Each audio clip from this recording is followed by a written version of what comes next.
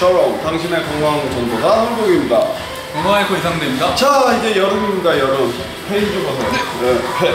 자 시크팩 만들고 싶으시죠 생각만 해서는 안 되고요 자 그러면 노하우를 하나씩 공개할 테니까 열심히 따라 하시면 돼요 뭐 하실 겁니까? 저는 크런치 동작 할 겁니다. 크런치 네, 벤치. 자 벤치에서 하는 크런치 동작 다리를 들고서 네.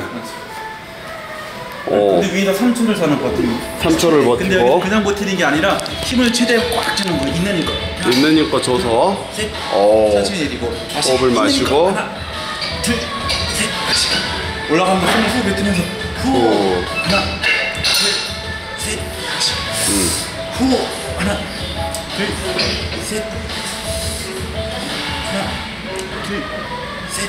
음, 하나, 둘, 셋. 이게 끝나면 어, 다리를 들어 올리고 leg raise. 바로 연속 동작으로 음, 이게 다리를 차는 느낌보다는 네. 엉덩이와 골반을 또는 아랫배를 몸쪽으로 위쪽으로 끌어당기는 느낌으로 음, 쭉 당깁니다. 오, 맨 처음에는 바로바로 올렸다가 네. 나중에는 3초 씩 고 이것도 짜주면 3초씩 하나 둘셋 풀고 음, 다시 하나 둘셋 오케이. 하나 음, 오 그래요.